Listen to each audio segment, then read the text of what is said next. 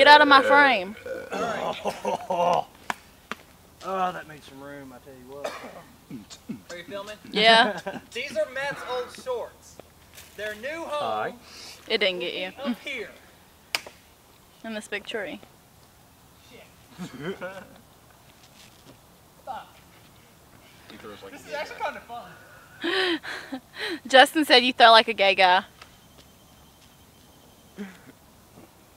Well, Swat do them suck a lot some bitches dick. up.